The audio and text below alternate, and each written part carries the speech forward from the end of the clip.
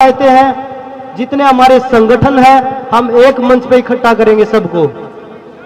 ये अ, मुडलाना की जो धरती है यहाँ से मैं अपील करता हूँ जितने भी हमारे खाप चौधरी हैं जितने भी संगठन है हम जो आप लोगों को कॉल दे जो पंचायत के लिए हम आप लोगों को एक जगह बताएँगे तीन से चार दिन में हम वो जगह डिसाइड करके आप लोगों को बता देंगे कि वहाँ पे पंचायत रखी जाएगी और वहाँ पे सभी इकट्ठा होके हम वहाँ से जो निर्णय लेंगे, वो हमारी बहन बेटियों की इज़्ज़त और मान सम्मान की लड़ाई के लिए वो और मजबूती के साथ आगे बढ़ेंगे।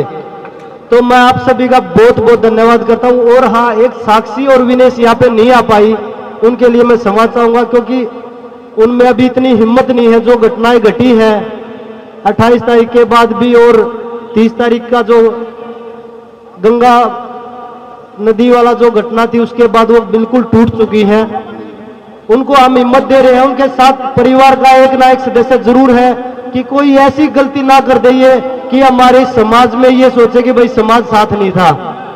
तो मैं आपके माध्यम से यही बोलना चाहूँगा कि आपका जो सहयोग है, उसके लिए हम आपका हृदय से धन्यवाद करते हैं और हमेशा आपके आभारी और ऋणी रहेंगे कि आपने हमें सहयोग दिया है और जो कॉल देंगे वो आप लोगों को ज़रूर बता देंगे। जिस दिन भी हम पंचायत रखें, ज़्यादा से ज़्यादा संख्या में उस पंचायत में पहुँचना है।